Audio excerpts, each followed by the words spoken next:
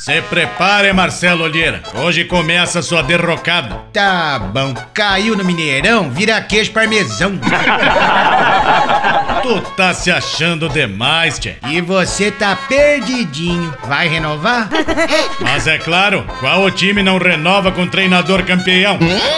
Copa do Brasil e no Brasileirão a subida começa hoje. Subida? Só se for escadaria de alguma igreja para agradecer o milagre de não cair.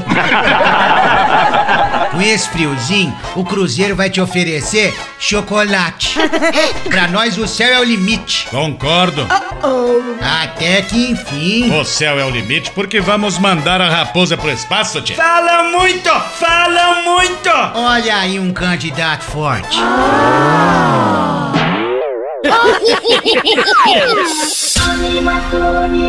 site e anima galera.